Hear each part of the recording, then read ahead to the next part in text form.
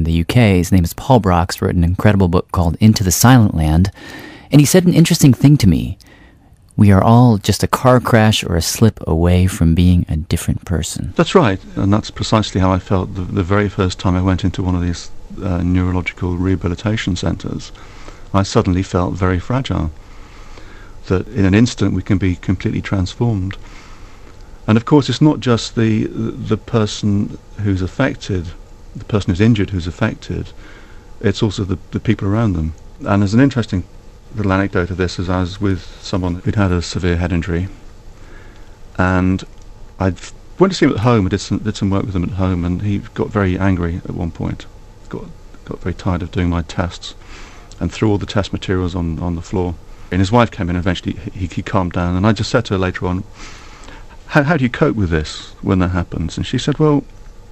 She said something that really interested me, that, and she said, "Well, when it happens, I think it's not really him. It's not really Jeff. Wow. It's not really him. But paradoxically, what what kept her with him and kept her supporting him was that the was the belief that at some level it really was him. So I think we, we kind of people in that situation have this kind of paradoxical survival strategy that well yes they have to accept it's not the person it's not really them but on another level why are they still with them is there something in that belief, though, that it, that could possibly be true? I mean, is there something that doesn't change? I don't know. I mean, some people might call it a soul, right? Do you believe in something like that, or, or is everything purely as fragile as you say? Um, I personally don't believe in, in an immaterial soul. And I think in a case like his, let's call him Jeff, you'd have to ask, well, what's happened to Jeff's soul? What's happened to Jeff's soul in this situation? has the soul also been mutilated along with the brain? Um, I, th- I think I would suggest that this the notion that there is a sort of immaterial soul, which, as some people might believe, departs the body at death, and, and, and some people might believe takes on another body in a future life. That's an illusion, I think. Other people take a different line on this, and other people do believe there is self stuff or soul stuff somewhere. But I, the question is, I would put that well, where where is it? In the brain? Uh, I mean, is it possible we just haven't dug deep enough and found it? But what, what, how would you know when you found it? What would you be looking for?